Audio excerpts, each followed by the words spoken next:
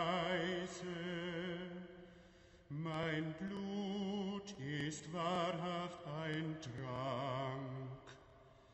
Wer mein Fleisch isst und mein Blut trinkt, der bleibt in